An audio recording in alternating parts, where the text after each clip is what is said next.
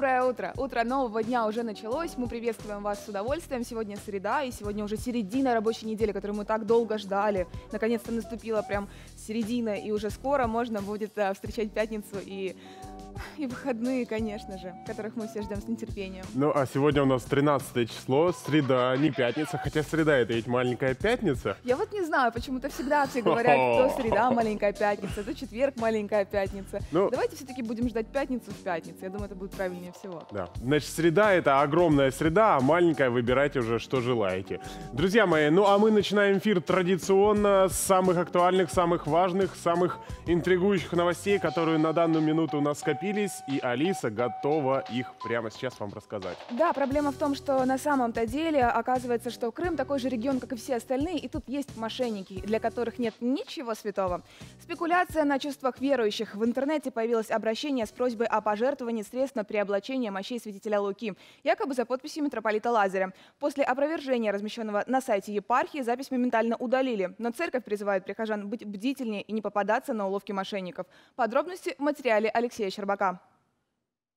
Имя святителя Луки хорошо известно и на полуострове, и за пределами Крыма. Ильдар Халиулин специально прилетел из Уфы, чтобы поклониться его мощам, которые находятся в Свято-Троицком соборе Симферополя. Мы прилетели, долгий путь, это 6 часов лететь, двумя пересадками, но мы приехали, мы попали. Нет, конечно, очередей, как в Москве к Матроне, но мы очень рады. То есть, зайдя туда, я почувствовал, что мне стало легче. Как сообщили в епархии, обращение о сборе средств поступило на электронную почту Храма Христа Спасителя в Москве и частным лицам. Пришлось незамедлительно давать опровержение. Переоблачение мощей святителя Луки действительно происходит несколько раз в год, но никогда церковь не собирала на это деньги. Все необходимое в Свято-Троицком соборе имеется. В первую очередь мошенников выдал текст письма, комментируют в епархии. Даже подпись была неправильной. Не митрополит, а архиепископ Лазарь. Это люди, стоящие далеко, пребывающие далеко от культуры православия, от церковного понятия этикета. Э, так, например, э, наперстный крест почему-то называется наперсточным. Сразу понятна истинная профессия, очевидно, тех людей, которые таким образом обманывают других. Прихожане Свято-Троицкого собора к мошенникам отнеслись по-христиански. Большинство руководствуется принципом «не судите, да не судимы будете». Собственно, в этом нет ничего удивительного. Люди спекулируют. Много объявлений про больных детей в интернете просят да, пожертвовать деньги. Ну, к сожалению, видите, есть такие люди, для которых нет ничего святого. Это все. Дело каждого человека не могу не осуждать. То есть, если человек внутри так понимает, что он может идти на, такое, вот, на такие поступки, ну, как бы Бог судья.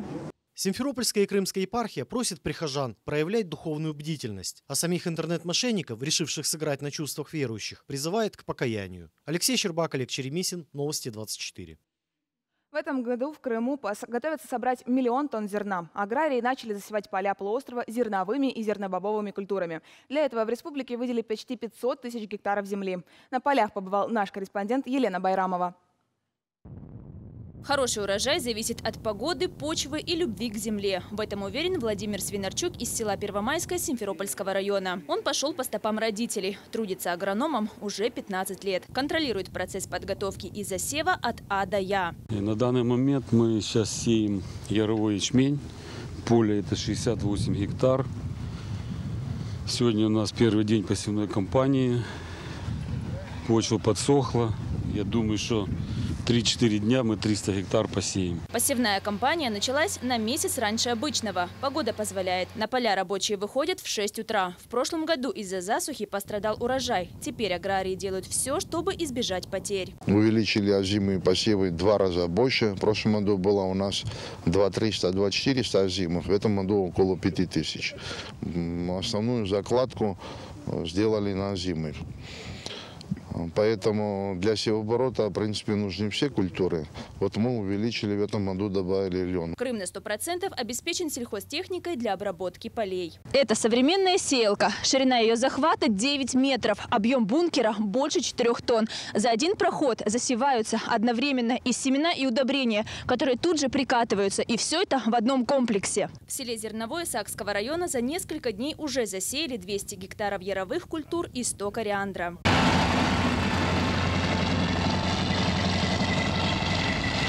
Почву перед началом работ тщательно готовят. Поле должно быть ровным, поэтому тут сделали баранование. И вот ведем вторую культивацию. Начинаем сеять овес на зеленый корм. Будет всеваться сюда экспортсет, который будет уже урожай на следующий год давать. Потом еще останется 200 гектаров чечевицы. Работы активно идут и в северной части полуострова – Красноперекопском, Раздольнинском и Первомайском районах. Министерство сельского хозяйства Крыма поддерживает аграриев и сельхозпроизводителей полуострова. Сотни миллионов рублей ежегодно выделяют на развитие этой отрасли. Площадь посевов постоянно растет. Вообще мы под озимый сев засеяли 469 тысяч э, гектар полевыми культурами. И на сегодняшний день проведена подкормка на площади свыше 30 тысяч гектар. На сегодня сегодняшний день состояние посева очень хорошее, 85% оценивается как э, хорошее и удовлетворительное. Вот, поэтому видно на урожай на сегодняшний момент э, прекрасно. Ну, смело можно говорить об урожае свыше миллиона тонн зерновых культур. Если погода будет благоприятной, первые всходы можно будет увидеть уже через несколько недель. Елена Байрамова, Андрей Заричный, Новости 24.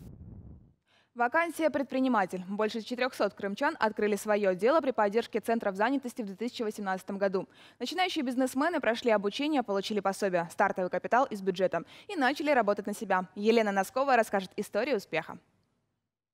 Логопед-дефектолог Екатерина Павлова не ожидала, что в Центре занятости найдет идеальную работу по специальности. Услышав о возможности стать бизнесвумен, специалист отправилась на консультацию. Недельные курсы в Симферополе и время действовать наступило. Мне выдали сертификат, сертификат о том, что я являюсь ИП. И далее объяснили, что мне нужно сделать, всю стратегию плановую. И все, я открыла в налоговой э, свой индивидуальный номер э, и постепенно начала ну, работать. В 2018 году потенциальные бизнесмены рассчитывали на 100 тысяч рублей стартового капитала. Все расходы и план действий согласовывали в Центре занятости. Больше 400 крымчан в 2018 году получили пособие на открытие собственного дела. Большинство выбрали сферу услуг и торговлю. Как Сергей Анисимов, который открыл магазин в 60 лет. Начинал со скромного ассортимента. За год дело расширилось, появились новые товары и проверенные поставщики. Делал опрос э, покупателей, что бы в этом магазине вы хотели видеть, что бы вы в этом магазине хотели, чтобы изменилось. Я сам доказал себе и доказал всем, что на сегодняшний день возраст не играет роли. Было бы желание, Главное – желание и грамотная стратегия, иначе в помощи могут отказать. Серьезные проверки идут на стадии выдачи стартового капитала из государственного бюджета. Это не та процедура, когда э, безработный, получив статус, может просто сказать, я хочу получить финансовую поддержку. Он должен разработать свой бизнес-план, пройти обучение, защитить свой бизнес-план с тем, чтобы понять, что его дело, да, вот то, о чем вы говорили, что он не получит в ноль и скажет, извините, не получилось. В этом году сумма пособия выросла до 160 тысяч рублей. По прогнозам Министерства труда и социальной защиты Крыма, желающих стать предпринимателями в этом году станет больше. Елена Носкова, Иван Евдокимов, Новости 24. А еще хотим вам скорее напомнить или рассказать о том, что сегодня день радио, и у нас есть уникальная возможность поздравить всех причастных к этой интересной и удивительной профессии. Да, прямо сейчас мы пробуем связаться с э, Радио Крым. Доброе утро, друзья, Доброе слышите утро, ли вы нас? Да. Доброе утро, коллеги, радио и телеведущие вы. Ну, поздравляем вас в первую, в первую очередь с днем радио. Хороших вам эфиров. Да. Что Четко вы... выговоренных Спасибо. слов. Сегодня, да, можно сказать, профессиональный праздник. Итак, рассказывайте в свой профессиональный праздник, какая же тема у вас эфира? Ну, тема эфира волнующая всех. Прожиточный минимум. Говорим о нем, как он рассчитывается и почему такой маленький. Вот скажи, сколько тебе минимум надо, чтобы прожить? Ой, Алиса, рассказывай. Нет, э, я, я, я хочу как-то очень корректно уйти от этой темы. А скажите лучше, почему он такой маленький? Вот меня этот вопрос больше интересует. Есть в двух словах какое-то объяснение? Жизнь такая. Отличное объяснение. Вот, да. Два слова. Вы сами просили. Да, задачу поставили, задача выполнена. Спасибо огромное. Ну, еще раз поздравляем вас с этим профессиональным праздником и надеемся, что действительно эфиры будут у вас постоянно удачные, хороших гостей, интересных тем и чтобы все было замечательно. Спасибо, Спасибо огромное. и вам хорошего эфира. Спасибо. Друзья, включайте радио море, если вы только выходите из дома. Там, как всегда, очень интересно. И вот что А касается также радио прожиточного Крым и минимума. радио Точка, и все Да. наши радиостанции, а, они работают для того, чтобы вы проводили свое время с пользой, для того, чтобы вы, например, э, ехали в транспорте и получали новую информацию. Думаю, вам это пригодится. И пригодится вам прогноз погоды на сегодняшний день. Прямо сейчас его и посмотрим.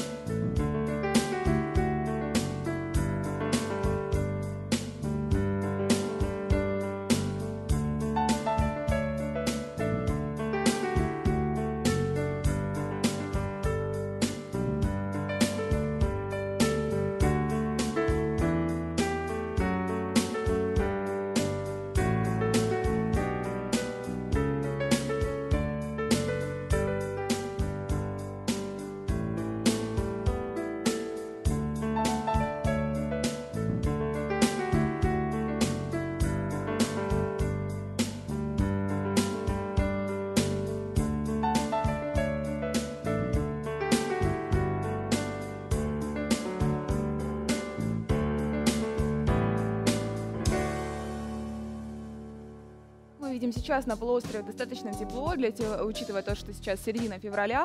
А вот э, как раз-таки в Петербурге, где в эту зиму было аномально холодно и выпало а, огромное количество осадков в виде снега, там начались проблемы, потому что сейчас начало все таять, и это повредило крыши музея русского, в котором находятся удивительные предметы искусства. И так, э, например, вот э, протек, протекла крыша, как я уже сказала, и пострадала а, икона «Чудеса Богородицы» э, и портрет Александра II. Но сотрудники музея говорят, что они срочно переместили эти картины в укромное место, куда бы не достала их сырость и влага, что а, картинам ничего не угрожает, потому что реставраторы защитили их любыми способами.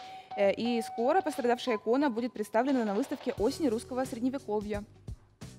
Ну, мне кажется, действительно, такой великий музей и протекла крыша, это как минимум неправильно. Поэтому, я думаю, совсем скоро все исправят.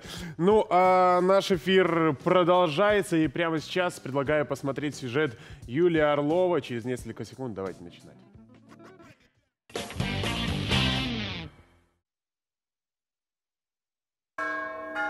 На торжества в семинарском храме трех святителей в день их памяти традиционно собираются не только педагоги и учащиеся Таврической духовной семинарии. Еще раз прикоснуться к блистательному наследию светильников мудрости, веры и благочестия, так еще называют вселенских учителей, святителей Василия Великого, Григория Богослова и Анна Златоуста, живших в IV-V веках от Рождества Христова. Очень важно, чтобы семинаристы ощущали эту великую преемственность поколения, ощущали это великое наследие, потому что семинарий ведь не просто э, учебное заведение, где готовят будущих пастырей православной церкви. Это просветительский духовный центр, который несет свет Христова учения в мир.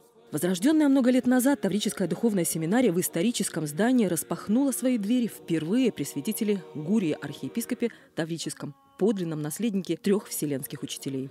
Это люди большой и длинной воли. Это люди большого и длинного ума. Это люди, которые, вобрав в себя всю античную ученость в свете евангельской правды, преломили своей жизнью священную традицию и настолько ее преломили и умножили и сделали более глубокой, что мы питаемся из замутненных колодцев их премудрости по сегодняшний день. Семинаристы поздравили с праздником ректора семинарии митрополита Симферопольского и Крымского Лазаря. Дорогой Владыка, мы видим вашу архипасторскую поддержку, помощь и любовь каждому из нас. И от лица всех учащихся Таврической духовной семинарии хотим пожелать вам, чтобы ваша духовная мудрость, жизненный опыт способствовали внутреннему единству и духовному единству всего общества нашего, чтобы ничто никогда не смогло э, омрачить ваш, вашу светлую и жизнеукрепляющую силу, дабы Таврическая семинария наша стала воистину тем евангельским градом, стоящим наверху горы, от пламени веры, которые возжигались бы новые сердца. Владыка Лазарь был искренне тронут теплыми словами своих воспитанников и викарного епископа Владыки Ялтинского Нестора. Вас благодарю за столь обстоятельный экскурс в прошлое и настоящее. И дай Бог вам жить мудростью Церкви Христовой не болеть. И Бог вам Прости, Господи, Владыка. В день семинариста лекций не будет, чему молодые люди, как и всякие студенты, очень рады. Совсем недавно, а именно вчера, наш корреспондент Артем нашел дерево, которое спилили, но не убрали. Так вот, это а, вызвало море нареканий у жителей, но на самом деле, оказывается, работники а, бюджетного, ой, а, муниципального бюджетного учреждения, они только вчера должны были приступить к уборке насаждений. И Смотри, какое совпадение. Просто, видимо, заранее теперь должны будут вывести, потому что уже около 400 э, кустарников и 40 деревьев э, ликвидированы. Да, ликвидированы? Убраны, спилены и Спили. убраны, которые в аварийных состояниях, которые мешали людям, которые могли э, внезапно навредить и людям, и проводам, и прочим. Еще в планах 2000 насаждений обрезать и привести в должный вид. Будем э, надеяться и верить, что летом уже э, все будет зеленым, красивым, обрезанным и очень э, иметь ухоженный и аккуратный вид. Но знаете, что наши телеканалы пристально следят за всем, что происходит на полуострове. В частности, вот открою тайны, что сегодня будет происходить. Э, связь будет потихоньку улучшаться, потому что будут открыты базовые станции подвижной радиотелефонной связи. Где? В городском округе Алушта, это в районе поселка Малый Маяк. Вот несколько станций. Грубо говоря, если вы едете из Симферополя в Алушту, вдоль дороги несколько вышек видно, что уже поставили. Вот одни сегодня будут открываться. И что самое важное, наши корреспонденты будут там и расскажут обязательно об этом. Но все это будет немного позже. Ну а что же еще день грядущий нам готовит? Какие знаменательные события, праздники? Прямо сейчас и узнаем. 1842 году Николай I подписал указ о строительстве железной дороги между Санкт-Петербургом и Москвой. Это третья железная дорога в Российской империи, которая получила название Николаевская и была протяженностью 645 километров. По легенде, железнодорожное сообщение было нарисовано императором по линейке, но рука дрогнула и получился изгиб. Конструкторы приняли оплошность за продуманную деталь и повторили ее на практике. В 1873 году родился русский оперный певец Федор Шаляпин. Он соединил в своем творчестве удивительную музыкальность, яркие вокальные данные и актерское мастерство. Это первый народный артист России, солист Большого и Мариинского театров. Среди самых известных ролей Мефистофель в «Фаусте» и Сусанин в «Жизни за царя». Свои партии певец записывал на пластинке на русском и итальянском языках. Также сегодня день рождения кинокамеры. 13 февраля 1895 года братья Люмьер получили патент на изобретение, которое потом получило название «синематограф». По легенде, Луи Люмьер изобрел уникальное устройство, борясь с бессонницей. Уже в декабре этого же года весь мир увидел прибытие поезда на вокзал Льясьота. В этот день, в 1940 году, Михаил Булгаков дописал роман «Мастер и Маргарита». Определяясь названием книги, автор рассматривал несколько вариантов – «Черный маг», «Жонглер с копытом», «Сын гибели» или «Гастроль Воланда». Когда Булгаков заболел, правки в текст носила третья жена писателя Елена. По ее словам, умирая, автор на смертном поприще говорил, что после этого произведения он не мог бы написать ничего другого.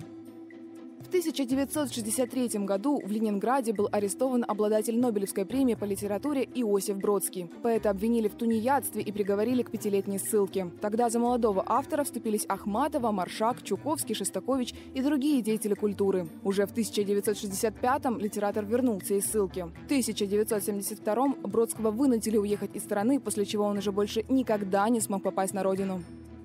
Сегодня Всемирный день радио. Появился этот праздник в 2012 году. Радиовещание – наиболее эффективный способ информирования населения, когда отсутствует электричество, интернет и телефон. Каждый год Всемирный день радио проходит под определенным девизом, и в этот раз он звучит как «Диалог, терпимость и мир».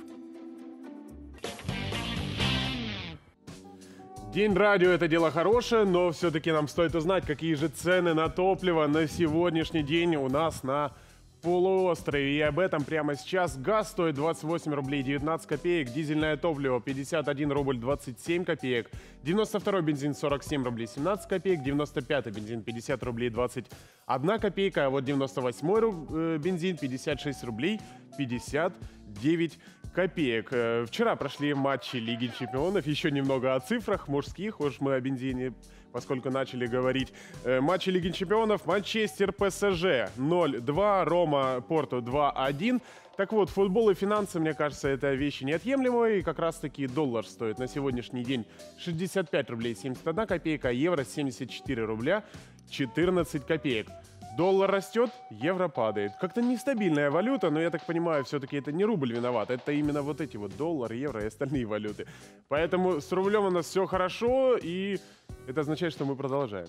Это мы продолжаем, потому что от чисто мужских тем, это деньги, топливо и футбол, мы перейдем к чисто женским. Хотя не тоже не, не чисто женским, хотя очень хотелось бы, чтобы это была какая-то женская парафия, но мужчины и там присутствуют, и прекрасные актеры существуют, э, режиссеры и другие деятели искусства. Но давайте все равно сходим в театр, узнаем, какие же там происходят события и да.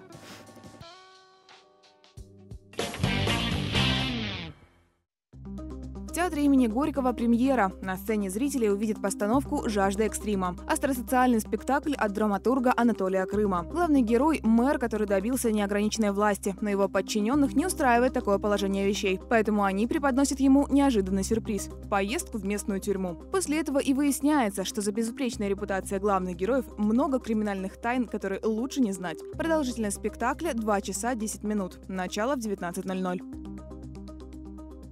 На камерной сцене театра имени Горького также в 19.00 комедия «Кавалеры». История о мужчине и женщине, которым суждено быть вместе, но судьба постоянно ставит между ними преграды в виде недоразумений, неловких совпадений и казусов. Надежда на любовь – главный двигатель всего спектакля.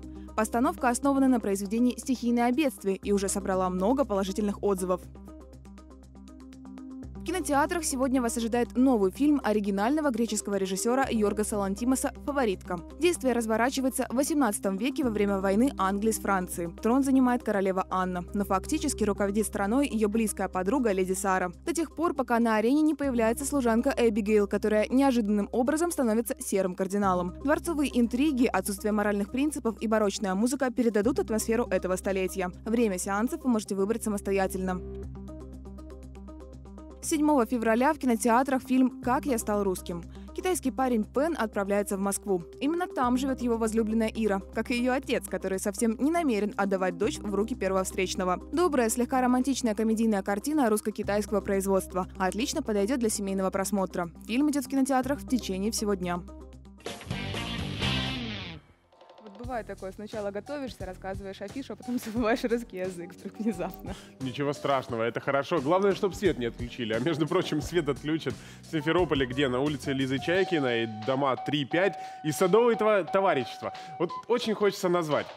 Бодрость, водник, изыскатель, садовод, ягодка, автобусник, пчелка, автомобилист и полет – Друзья, знайте, что сегодня света там может не быть. А такие названия хорошие. Да. Они, наверное, думают, что там и так люди позитивные, хорошо живут, что зачем им свет. Надеюсь, что это только мы придумываем сейчас, а на самом деле это просто какие-то необходимые меры. Да, Но... действительно. Ну, просто ремонт э, Кроменерго делает плановый, поэтому, наоборот, хорошо. Ну, а что садовое товарищество? Сейчас же там э, никого не должно быть, поскольку зима все-таки на дворе, и, мне кажется, в этот период как раз-таки необходимо... Дело в том, делать. что собираются скоро отменить э, такое понятие, как садовый участок и дача, то есть это Э, там будут здания, которые можно будет считать жилыми, в которых можно будет прописываться и которых можно будет оформлять как жилое помещение. Поэтому не факт, что там никто сейчас не находится. Но сейчас самое время узнать о новостях из интернета, которые подготовил для нас Артем. Ежедневно в мире происходят сотни событий. О самых интересных мы расскажем вам прямо сейчас. Тяжелый труд всегда имеет свои последствия. Один из пользователей сети запечатлел потрясающую воображение картину. На видео пот буквально испаряется с лошади, отдыхающей после тяжелого рабочего дня. Интересно, чем занималось животное. В любом случае, вид у зверя фантастический. Особенно впечатляет пар из ноздрей. Надеемся, скакуну дали отдохнуть. А труды навыки героев следующего видео вызывают уважение. Команда техобслуживания на пидстопе должна поменять колеса автомобилю как можно быстрее.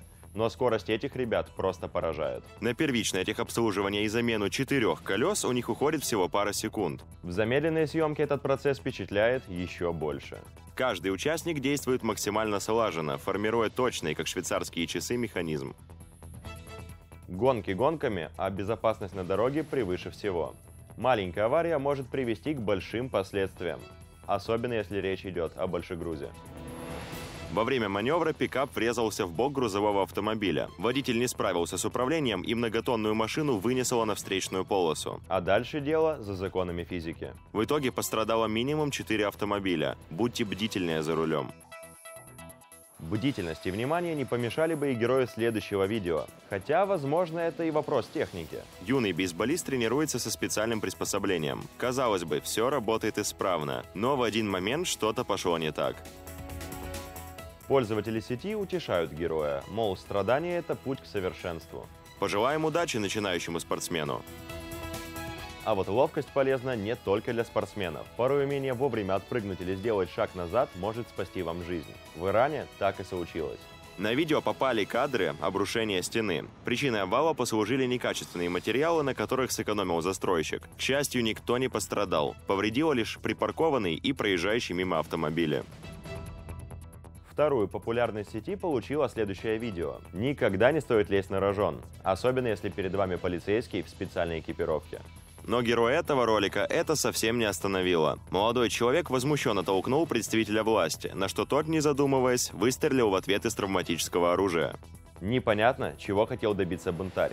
Но одно можно сказать точно. Ожидания не оправдались. Как видно, герой цел и стоит на ногах. В любом случае, урок получен. Щедрость – это благодетель. Милое и доброе видео напоследок. Четвероногий герой ролика наслаждался своей закуской, в то время как его приятель сидел голодным. Делать нечего, пришлось делиться. Если друг слишком стеснительный, можно и поднадавить. Будьте добрее друг другу. Это были самые актуальные события из сети. Оставайтесь на связи. Как мы и говорили, что сегодня день радио, поэтому, естественно, что мы пригласили в студию нашего коллегу. У нас в гостях Николай Куцев, это главный редактор Крымской службы новостей. Николай, доброе утро. Мы тебя доброе поздравляем утро. как человека непосредственно причастному к радиоэфиру. Привет, ребят, спасибо большое за поздравление. Вы первые, кто меня сегодня поздравил. Это нам повезло, потому что рады. мы просыпаемся рано. Кто рано встает, тому Бог дает как минимум поздравить, можно первыми. Итак, еще раз поздравляем. Э, я подготовился так. к эфиру, сразу же говорю. И решил проверить. Вот э, вбил в интернете мифы о радиоведущих. И хотел бы сразу спросить. Итак, вот некоторые мифы. Радиоведущие читают по бумажке. Миф это или правда? Это зависит от формата программы. Если да. это новости, то новости, к примеру, читаются по бумажке. Если же это прямой эфир, линейный эфир, либо интервью, то там исключено.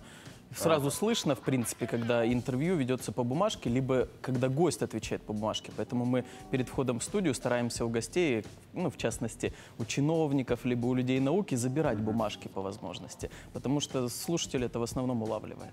То есть, а, например, бывает такое, что люди говорят «нет», мы хотим ее оставить, нам не, она необходима. Не то, что бывает, мы с этим сталкиваемся постоянно. Но сейчас вот у нас такой курс, чтобы исключить вот это явление, бумажки, читание с них в эфире, да, мы стараемся от этого избавиться. Но этот миф существует, ты абсолютно прав. Надо просто шредер ставить на входе и сразу уничтожать это все. Э, далее, следующий миф. Радиоведущие мало работают. Вот у нас три радиостанции. Действительно, мало ли работают у нас? Ну, работу ведущего можно сравнить э, с разными специальностями. Угу. Я не могу сказать, что ведущие мало работают. И естественно, что один ведущий не может целый день сидеть э, у пульта и целый день своим голосом рассказывать э, новости, либо вести эфиры. Естественно, ведущие сменяются, но тем не менее график у них сложный. Я могу вспомнить времена, когда приходилось и ночью выходить в эфир. Это было, в принципе, не так давно, когда любая появляется такая сверхновость, как в прошлом году у нас были несколько трагических событий. Mm-hmm естественно, приходилось выходить и по ночам, и никакой график э, из существующих в это не вписывается. Конечно, были сверхситуации, как во времена блэкаута, тоже приходилось, в общем-то, работать 24 на 7. Сейчас же я могу сказать, что Э, радиоведущие все на своих местах, поэтому кто-то занимает утреннюю нишу, вот как вы, ребята, угу. кто-то все-таки у нас на вечерних программах больше трудится, новостники трудятся, конечно, целый день. А ночные эфиры есть? Потому что как не включишь радиостанцию, там кто-то что-то вещает. И мне всегда было интересно, какой график, потому что 24 часа в сутки вещание, и как, как люди меняются, по сколько часов смена, какие есть трудовые какие-то нормы. Ну, я раскрою несколько секретов, да. И, и ведущий эфира, который сидит непосредственно за пультом, он по Э, трудовым правилам не имеет права сидеть там более 4 часов. То есть, э, в принципе, если вы слышите больше 4 часов один и тот же голос вот да. в э, линейном именно эфире, знайте, что тут что-то не в порядке. Ну а в целом, вот и я имею в виду вечерние, ночные эфиры, некоторые программы могут быть в записи, да, действительно, если это ночной эфир, к примеру, на информационном радио, то, ну, редко я могу сказать, что можно позвать гостей ночью в студию, да. Но если же это эфир на развлекательном радио, которые у нас тоже в холдинге работают прекрасно, это в основном прямые эфиры, потому что там идут рубрики, в которых можно передать привет, поздравления, заказать песню. Они идут, в принципе, до 12 часов ночи, поэтому это живые люди, которые здесь, на нашей станции, в ночи трудятся. Да, это правда.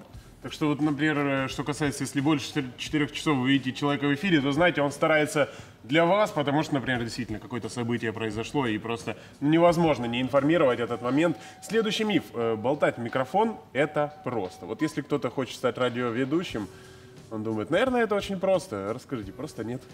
Болтать в микрофон очень непросто, особенно попервой. Вот э, себя вспоминаю, слава богу, мне довелось еще начинать работу на радио в те времена, когда можно было все сделать в записи. Mm-hmm. Еще был такой облегченный формат для меня, человека, который никогда не был, в общем-то, в радиосфере. Сейчас же Конечно, влиться в коллектив намного сложнее, потому что в основном все в прямом эфире идет, и ты должен сразу выходить и во-первых, чувствовать себя уверенно, во-вторых, э, быть готовым на любую тему говорить, и, потому что в прямом эфире бывают любые казусы, бывают любые ситуации, которые могут случиться с каждым.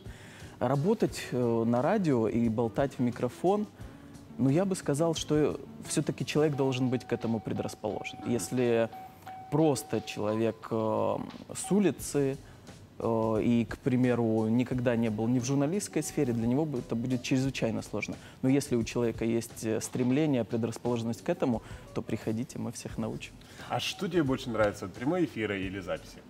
Прямой эфир лучше, конечно. Вот если, если не учитывать момент какого-то комфорта, конечно, который ты испытываешь в записи, когда у тебя есть шанс исправить свою ошибку, то прямой эфир лучше во всех отношениях, потому что, во-первых, он исключительно мобилизует человека, то есть ты включаешься на полную. А во-вторых, ты можешь сказать все, что угодно, а подводить итоги будешь потом.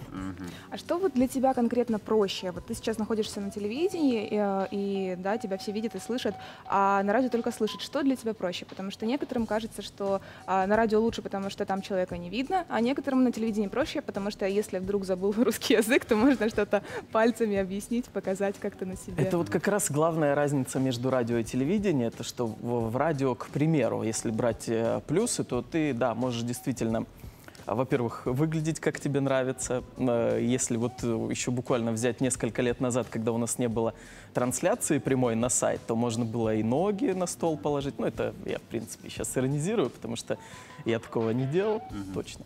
Вот. А второй момент, э, в чем э, сложнее на радио, потому что даже вот излагая свою мысль, на телевидении ты можешь в сюжете, либо в какой-то программе подстраховаться картинкой, то есть э, показать весь, все видеорядом, mm-hmm. вот весь момент, который ты объясняешь. На радио тебе придется задействовать все, в общем-то, словесные обороты, которые ты знаешь, для того, чтобы донести вот то, что у тебя в голове до слушателя. Причем суть же в том, что радио — это самый фоновый в общем-то, самое фоновое средство связи, угу. которое слушают радиослушатели. То есть редко человек вот садится вечером и включает радио так, чтобы прямо вот сесть перед ним и послушать четко от и до. В основном это либо автомобиль, где ты должен, помимо всего прочего, управлять им и слушать радио, впитывать информацию, либо это какие-то фоновые моменты в магазине, на рынке и так далее. Поэтому ты должен настолько сжато, настолько, в общем-то, конкретно донести свою мысль, чтобы любой человек краем уха услышав ее, все понял.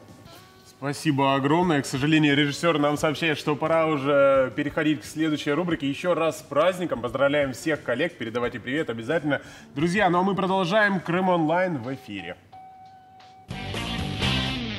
Дороги в Крыму живописные, но на некоторых участках качество покрытия оставляет желать лучшего. Сакский район. Яма между поселками Крымский и Низинная стала причиной быстрой и внезапной потери сразу двух колес. В комментариях советуют в таких случаях подавать в суд на ответственных лиц. При этом задаются вопросом, куда смотрят контролирующие органы.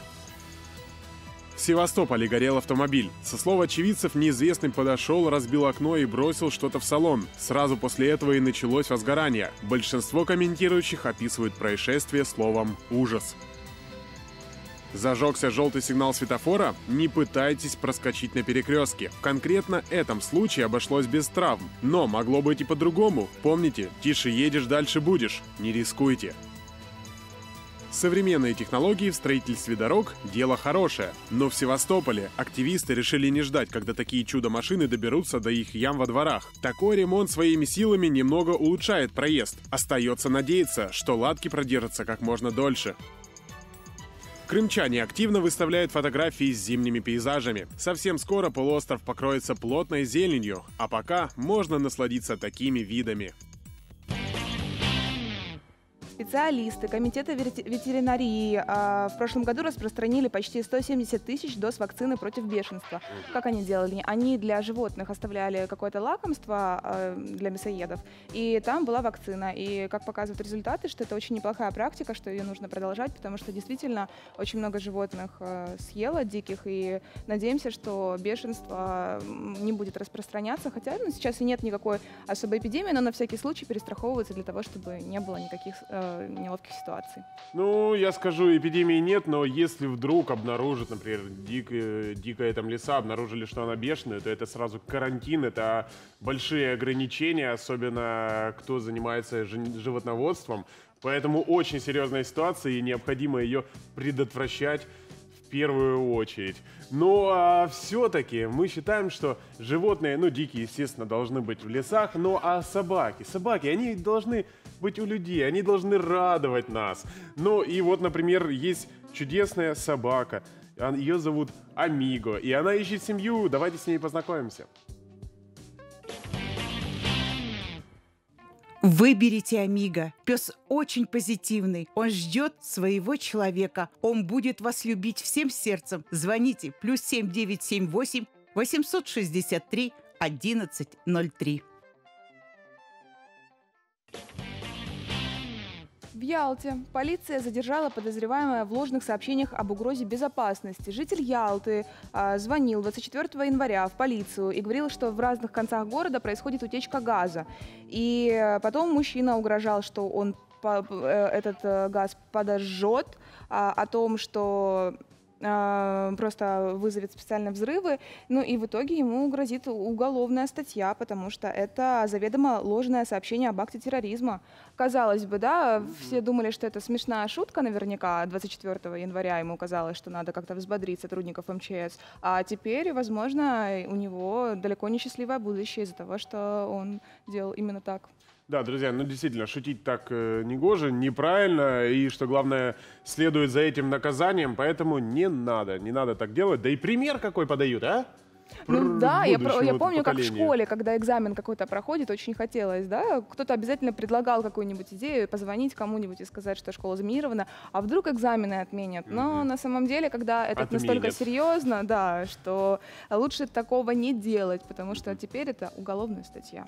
Да, друзья, ну а мы продолжаем. Э, далее наш эфир продолжает э, сюжет Александра Ткачева о новой программе, которая будет выходить на телеканале Первый Крымский «Голубой континент». Она называется подробнее прямо сейчас и узнаем.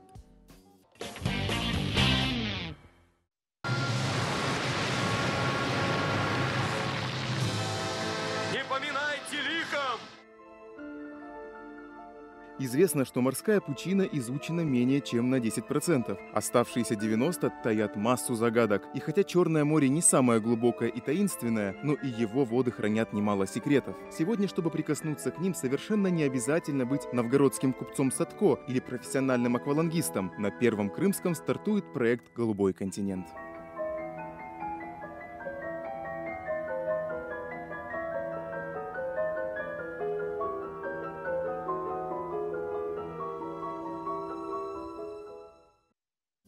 Сергей Денисов, автор программы, подобно былинному герою, спускается во владение морского царя с 1981 года и, кажется, о подводном мире знает все.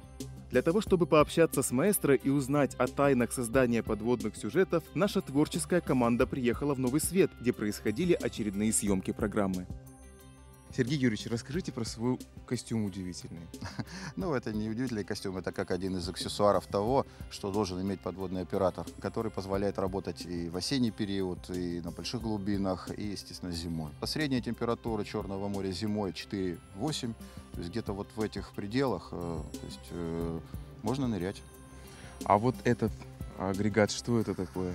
А, ну, это наш обычный акваланг, который изобрел всеми известный Жак Ив Кусто вместе с инженером Эмилием Ганьяном еще в середине 40-х годов.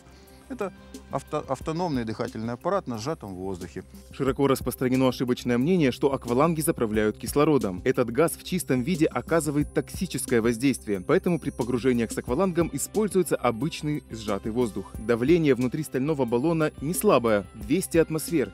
Через первый редуктор давление снижается до среднего 10 атмосфер, и далее по шлангам подается еще одно приспособление. Эта штука, которую изобрел Кусто, называется легочный автомат. То есть он автоматически подает воздух нам на вдох на любой глубине. Изменяется глубина, изменяется давление на вдохе. Но мы при этом чувствуем себя комфортно и совершенно автономно. Гидрокостюм, акваланг, маска. Но, как известно, красота кроется в глазах смотрящего, а очами подводного оператора является его камера. Чтобы снять качественно под водой, желательно иметь бокс, некий по-русски ящик, в который монтируется камера. Бокс позволяет э, снимать на разных глубинах. Вот эта модель работает до глубины 60 метров. Объектив э, снабжен специальной сферой, сферическим иллюминатором, который сохраняет э, широкий угол зрения под водой. Такой иллюминатор, пожалуй, самый главный секрет удачной подводной съемки. Вода, как более плотная оптическая среда, увеличивает предметы почти на 30%, и если угол зрения не будет увеличен, картинка выйдет неконтрастная. Для съемки, допустим, макропланов этот иллюминатор отстегивается, вот здесь есть переходное кольцо, и ставится плоский, плоское стекло. Но, естественно, под это стекло нужно и менять тогда объектив, ставить специальный макрообъектив для съемки мелких объектов под водой глядя на кадры, выполненные Сергеем Денисовым и его командой, захватывает дух. Однако дайверы-документалисты отмечают факт, что за последние несколько лет подводный мир сильно оскудел. Одной из причин являются тральщики, не только хищнически уничтожающие рыбу, но и разрушающие всю экосистему морского дна. Однако, несмотря ни на что, Черное море все еще прекрасно и способно удивить. В этом убежден любитель дайвинга Александр Владимиров. Черное море, некоторые туристы думают, что здесь смотреть нечего, и красот нету, и рыбок нету. Ну, это не так. Это программа, которая сейчас на данный момент выходит в эфир. Э, там очень будет много всего полезного. Будут подводные гроты, э, старинные якоря, э, осколки амфор. Подобно Садко, Сергей Денисов выходит из пучины Черного моря. Но вовсе не золотая рыбка в его руках. Он крепко сжимает свой привычный инструмент работы – черный бокс с подводной камерой. А в ней за системой линз и микросхем скрытая от глаз обывателя красота Черного моря. Теперь познакомиться с потаенным миром может каждый. Смотрите авторский проект Сергея Денисова «Голубой континент» каждое второе воскресенье в 9.45 на Первом Крымском. Уже хочется плавать там с рыбами, с этими, которые мы только что видели, mm. и которые мы будем смотреть каждую вторую так субботу. Вперед, ныряй. Нужно подождать немножко, потому что пока что еще немножко прохладно, будем ныряй говорить в телевизионный мир, давай, погружайся. Пока что, да, это, к сожалению, единственная возможность, но у нас есть сейчас возможность связаться с нашим корреспондентом, который на улице и расскажет, как там обстановка. Доброе утро, Целья. Рассказывай, что там интересного у тебя. Доброе утро, коллеги! Я сейчас нахожусь в Екатерининском саду, или еще, как правильно его называть, Екатерининский сквер. Но здесь, как вы видите, людей пока не так много, а вот машин уже достаточно. Это говорит о том, что город потихоньку просыпается. Ну еще хотелось бы сказать о погоде. Сегодня ожидается до 6 градусов тепла. Это будет такой температурный максимум но, к счастью, без осадков, хотя вот синоптики говорят, что, может быть, утром пройдет дождик и будет туман, но по моим наблюдениям дождь уже прошел. Также сегодня не ожидается, что появится солнце, на небе очень облачно. Еще бы я хотела сказать, что до весны остается 16 дней. Это чуть больше двух недель, как вы понимаете, и день уже увеличивается, его длина составляет 9 часов 39 минут, а заходит солнце уже 18-14. Ну и еще хотелось бы немного сказать про сегодняшние праздники. Как вы знаете, сегодня отмечают день рождения э, теле- или кинокамеры, а также сегодня отмечают День подруг и Всемирный день радио, с чем я и хотела бы поздравить своих коллег, потому что сама на радио проработала более шести лет и прекрасно знаю, что это за вид деятельности, что это за СМИ, и очень его люблю. Поэтому еще раз поздравляю своих коллег, надеюсь, что я сегодня была самая первая, ну и вам желаю хорошего эфира. До встречи! Спасибо. Конечно, самая первая. Самая первая с- после с нас. улицы поздравил. Понимаешь, мы-то сидим себе в тепленькой студии, у нас все хорошо здесь, ни дождя, ничего. А вот человек на улице и поздравил уже. И уже знает о том, что совсем скоро будет весна, через чет- 15 да, дней. Это так здорово, потому что об этом я не задумывалась, а вот если бы с Алечкой, я бы даже не вспомнила. Но сейчас самое время узнать о том, какая же погода будет на э, градусниках. А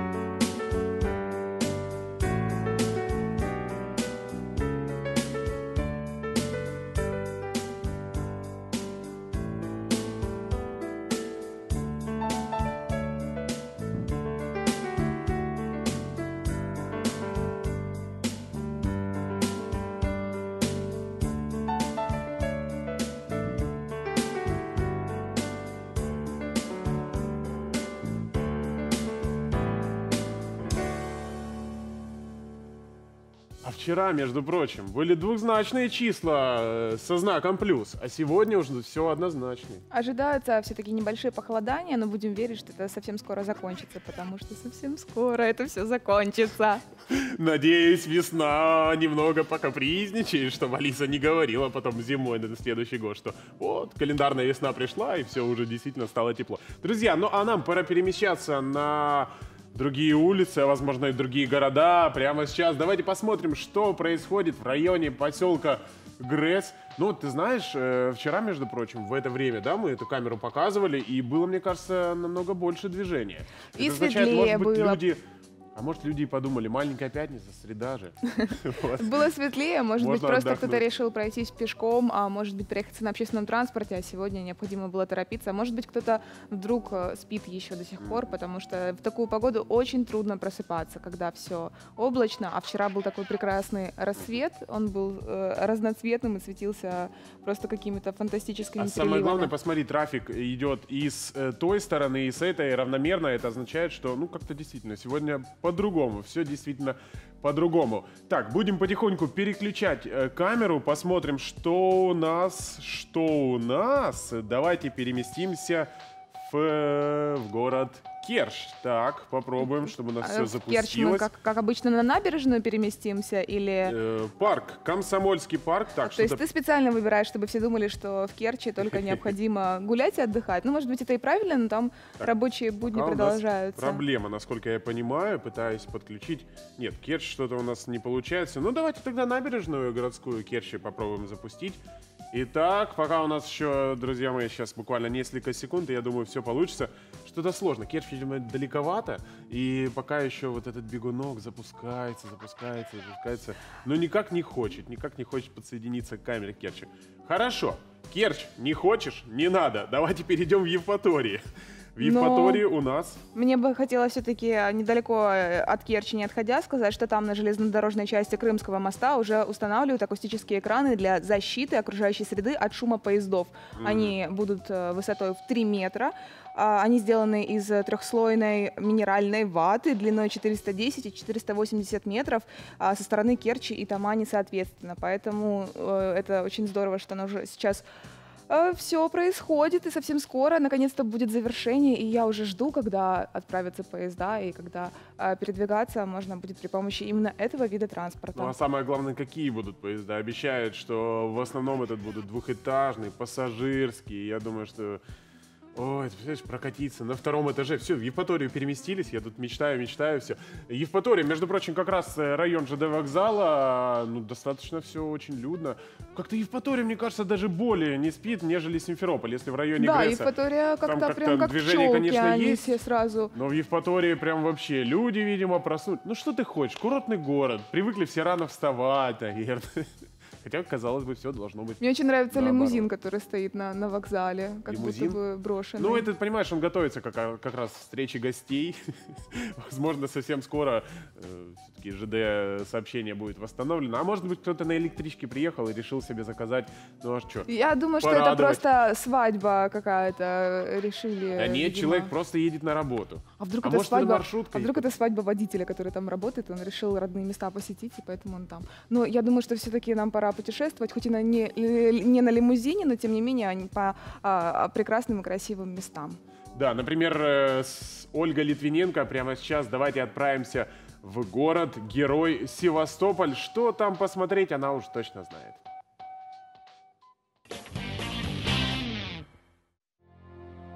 Тихо, солнечно и при этом не жарко. Идеальная погода для прогулки по историческим местам Севастополя. Сегодня мы прикоснемся к истории когда-то важной составляющей города – арочному водопроводу.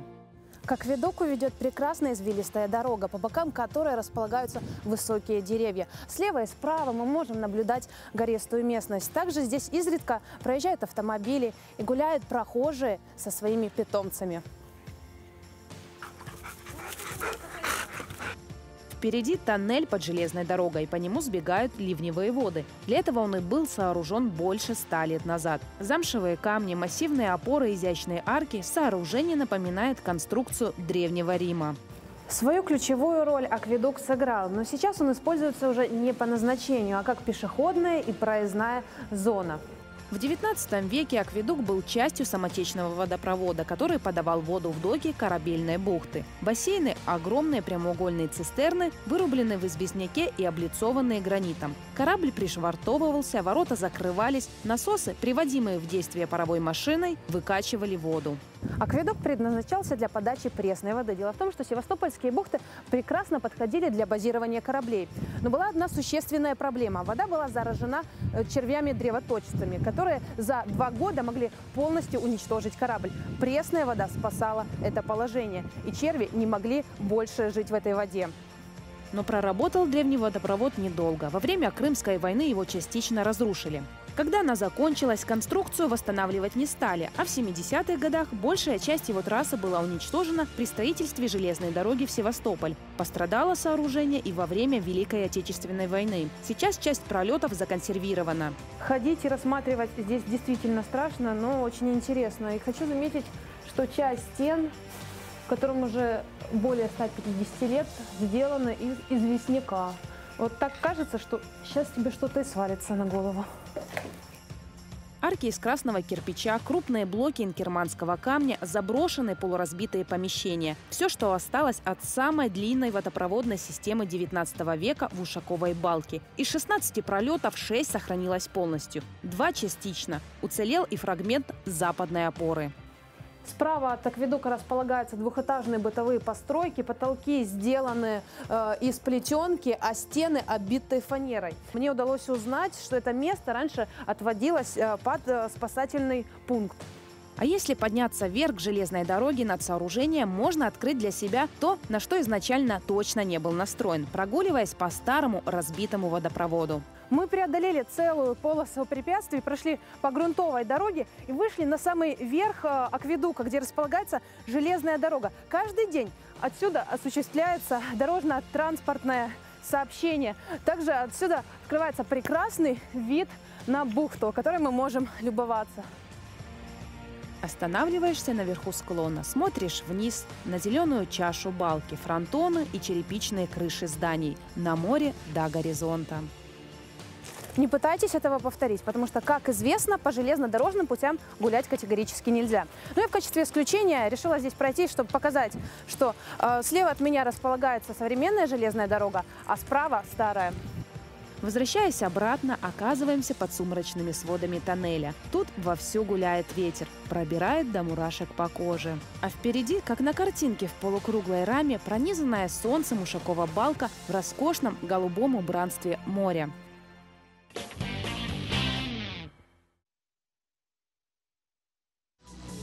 Новый политический сезон в эфире телеканала «Первый Крымский». Ток-шоу «Вечер live» с Александром Макарем. Каждый вторник, среду и четверг в 19.30. Не пропустите.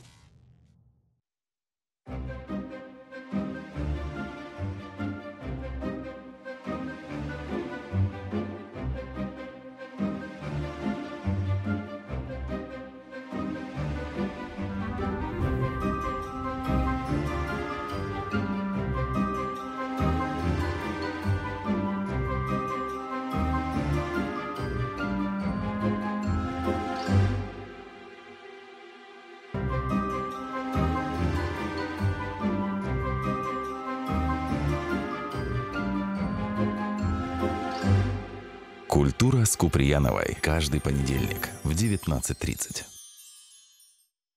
Поехали.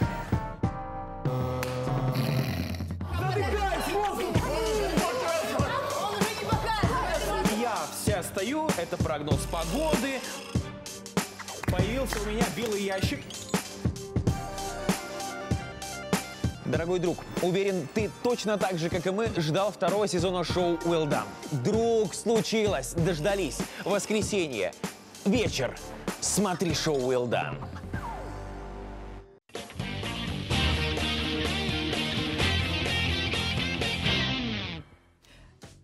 Еще раз здравствуйте. Напоминаем, что сегодня 13 февраля и среда. Это очень важная информация. А еще не менее важная информация, то что вы программу смотрите «Утро нового дня». Это телеканал «Первый Крымский», Крым-24. Мы работаем в прямом эфире на часах 8 часов 19 секунд, уже 20, 21 пошла. Это означает, что мы пропускаем, мы теряем драгоценные секунды. Срочно, срочно, давайте узнаем, какие новости прямо сейчас.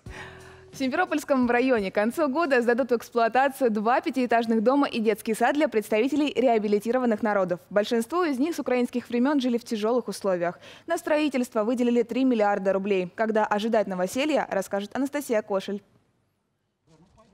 Асан Ситумиров вернулся в Крым в 1989 году. Его отец купил в селе Аркадьевка этот дом постройки 19 века. Вскоре дом пошел трещинами вдоль и поперек, а сейчас буквально разваливается. Вот живем и мучаемся. Ну, каждый год ремонт делал. Это латки, стены, там это всякие зверюшки бегают на крыше, типа мангустов, что-то такое разрушают, еще помогают, разбирают дом. Вот такие булыги. 70 сантиметров толщиной стены, а посередине пусто. И в середке всякие эти бегают. Ночью даже спать не дают. Мы думаем, развалит этот дом, когда-нибудь накроет этот дом наш. И так сам дом еле держится, еще эти зверюшки помогают разрушать этот дом. Асан Османович встал в очередь на жилье еще в украинский период. После воссоединения Крыма с Россией вопрос решился быстро. Квартиру он должен получить уже в следующем году. Вместе с женой Эсмой с нетерпением ждут новоселья. Вот этот дом в поселке Гвардейское – их новое место жительства. Строительство идет полным ходом. В новой пятиэтажке будет 160 квартир. Мы находимся в будущей двушке. Здесь уже провели коммуникацию, свет. Главная особенность квартиры – это шумоизоляционные полы. Будущие соседи будут чувствовать себя свободно в новых жилищах. Рабочие используют современные материалы. Они легче и надежнее. Самый трудный этап уже преодолели. В любом строительстве самый сложный этап – это возведение каркаса монолитного. Вот. Слава богу, у нас уже на 95% это все готово. Остался последний штрих. Соответственно, сейчас идет заполнение полностью всех э, каркасных сооружений. Вот. Э, последующая отделка, окна, кровли. Микрорайоне Луговое тоже строительство. По этим коридорам в ближайшие месяцы уже побегут маленькие ножки. Новый детский сад – одно из самых необходимых учреждений в районе. Ждет его и местная жительница Севиля, пока своих малышей воспитывает дома. У меня старшему 9, этому 7 будет. И ни разу никто не попал в садик. Надеемся, что вот дочка попадет. В учреждении уже есть все, чтобы принять малышей. Тут 13 групп, в каждой игровые санузлы, современная аппаратура и мебель. В рамках федеральной целевой программы мы строим детский сад на 260 мест. А, в ближайшее время основные работы, строительно-монтажные работы прекращены, уже завершены. А, сейчас заканчиваем наши недостатки. Также здесь будет еще подкрашена подпорная стена а, красивыми рисунками граффити для детей. И уже планируется через месяц-два открыть данный детский садик. Уже второй год для реабилитированных народов работает школа номер 44 в микрорайоне Фонтаны. Это был известный долгострой в украинские времена. Она называлась «Школа четырех президентов». Оборудована по последнему слову техники. В этом году она единственная вошла в программу по изучению сразу трех языков – русского, крымско-татарского и английского. Это билингвальная основа обучения. Желающих учиться тут сотни. Мы проводили день открытых дверей, предварительно посчитали, что школа обязана принять еще 200 детей примерно. Это еще 6 первых классов. Конечно, проектная мощность не рассчитана на этот объем. Родители не просто просят, а в письменном виде просят сделать это, это, это. Одно из расширить школу, достроить здание, собственно, для начальной школы. В 2019 году на строительство для реабилитированных граждан в Крыму выделили почти 3 миллиарда рублей. Большинство объектов уже готовятся к сдаче. Сейчас мы также планируем э, в этом году уже ряд социально важных объектов уже и в Хошкельды, и в Молодежном, и э, в городе Симферополе. Каждая позиция держится на контроле Комитетом по межнациональным отношениям, потому что за цифрами, камнями и стенами люди, которые ждут лучшего будущего. Анастасия Кошель, Игорь Пенищук, Новости 24, Симферопольский район. Наука и жизнь. Севастопольские ученые разработали первый в России интеллектуальный протез искусственного коленного сустава. Суть новшества в том, что механизм может самостоятельно адаптироваться к движениям человека. Анастасия Соснина одной из первых прикоснулась к изобретению и знает детали. Идея интеллектуального протеза появилась у Александра Полякова в 2007 году. Ей заинтересовалась турецкая компания, но сотрудничество не удалось. Работа над проектом продолжалась, и спустя годы мечта Александра осуществилась. Вместе с коллегами он получил грант на сумму 500 тысяч рублей. Результаты разработок смогли реализовать. Изобретать модель мы начали непосредственно с коленного модуля, который вы видите. Э, он абсолютно биоподобен, и в этом его уникальность заключается. Э, кинематика его движения э, соответствует человеческой. Уникальность протеза в том, что он подстраивается под движение человека как робот. За 4 месяца ученые сделали не только цифровую модель протеза, но и прототип. Внутри этого прототипа находится механизм. Подключив его к базе данных, который выполнит наподобие подобных модулей и будет осуществляться управление протезом. С помощью этого изобретения люди с ограниченными возможностями смогут преодолевать препятствия, бегать, прыгать, пока у испытательного образца ограниченные функции. Сложность состоит в том, что система управления достаточно продвинутая, где и задачи простого управления двигателями, электродвигателями, и получение информации с сенсорики, вот, и э, создание некой базы знаний, движения человека.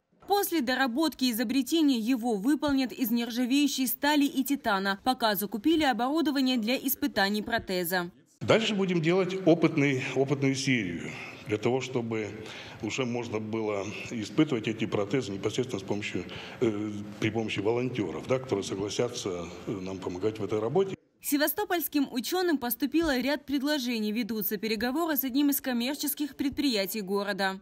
Производство коленного модуля такого, оно будет более дешевым. То есть это позволит за меньшие деньги сделать более высокотехнологичный протез. Это изобретение также, я думаю, что вполне возможно выйдет и на мировые рынки. По словам ученых, в России ежегодно устанавливают пациентам около 50 тысяч протезов. Из них 200 с частичными функциями движений. Все они закуплены за рубежом. Новое изобретение позволит не только улучшить жизни тысяч людей, но и станет вкладом в отечественное производство. Анастасия Соснина, Сергей Дмитриенко. Новости 24. Севастополь. Уже даже начинает казаться, что в скором времени протезы будут гораздо технологичнее, чем оригинальные конечности, потому что действительно а, надо. увеличивают функции. А почему? Ну, когда уже... Мне кажется, что действительно придет какой-то такой Ну, мультипликационный момент, когда можно будет... может быть, которые там помогут. А так-то, я думаю... Потому что, ну, мне действительно кажется, с тем, как сейчас э, развиваются технологии, что это будет э, действительно, может быть, даже красивее оказаться, чем, чем на самом деле. Да, нет, ну кажется, на самом деле, если есть проблемы, то, конечно, технологии, они уже шагнули вперед. Главное цена, они стоят огромных денег, а так действительно качество есть очень хорошее. Расскажу то, что проходит реконструкция Центра спортивной подготовки сборных команд Республики Крым. Раньше этот стадион назывался «Локомотив». В Симферополе 194 миллиона рублей. Это первый этап реконструкции. Что делают? Во-первых, поле с натуральным покрытием его реконструируют. Это не просто так, это ж э, очень много разных слоев покрытия, в том числе и делается подогрев этого поля. То есть действительно это будет высокотехнологичная такая штука.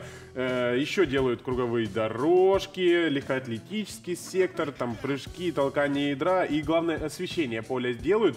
Ну вот еще будет второй этап. Вот в первом этапе я не заметил, чтобы говорили что-то о трибунах. А мы знаем, что стадион у нас, ну, с точки зрения трибун, не в самом лучшем состоянии находится. Но я думаю, что во втором этапе там уже все это будет предусмотрено. А может быть и крышу сделать стадиона, так вообще хорошо. А подогрев поля это для того, чтобы э, растения, Зимой. чтобы трава Да, росла да, даже да, да, зимой. да. То есть, например, в зимний период агропленка все это накрывает, и если идет снег, то есть трава там находится, все хорошо, морозы, ничего не страшно. В Крыму, кстати, всегда было очень хорошее поле, очень хорошее поле, поэтому надеемся, что традиции будут продолжаться, тем более технологии уже давно шагнули вперед. Ну, в Крыму не только со спортом все хорошо. но А еще очень хорошие постановки, а об этом в эфире и расскажем.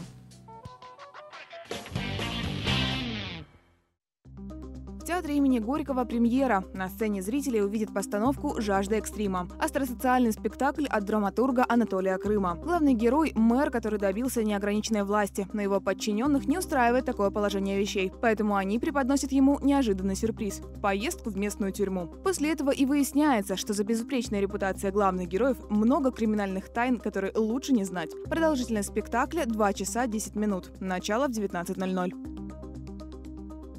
На камерной сцене театра имени Горького также в 19.00 комедия «Кавалеры». История о мужчине и женщине, которым суждено быть вместе, но судьба постоянно ставит между ними преграды в виде недоразумений, неловких совпадений и казусов. Надежда на любовь – главный двигатель всего спектакля.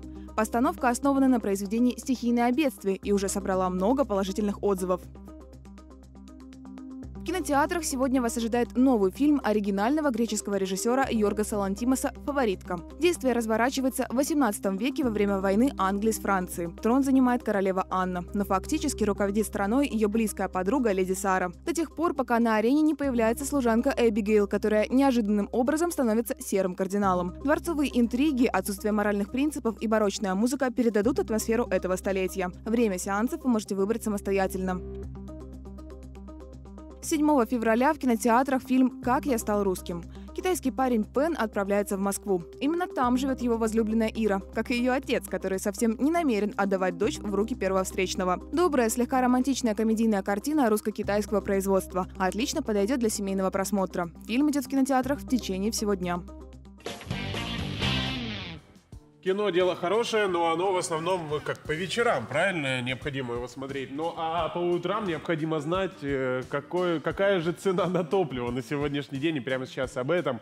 Газ на сегодняшний день в Крыму стоит 28 рублей 19 копеек, дизельное топливо 51 рубль 27 копеек, 92 бензин 47 рублей 17 копеек, 95 бензин 50 рублей 21 копейка и 98 бензин 56 рублей 59 копеек. Не знаю, сколько стоит бензин во Франции, но вот в Париже произошло интересное такое событие. Водитель инкассаторской машины воспользовался тем, что два инкассатора ее покинули и уехал. Уехал себе спокойно на ней и украл, а может быть не украл, просто взял, позаимствовал. Это так 3 теперь миллиона называется? 400 тысяч евро. Ты представляешь? Ты представляешь, сколько в это в рублях? Позаимствовал. Если один рубль, если один евро стоит 74 рубля 32 копейки, а вот доллар стоит на сегодняшний день 65 рублей 65 копеек. Вот такой курс на сегодняшний день у нас есть.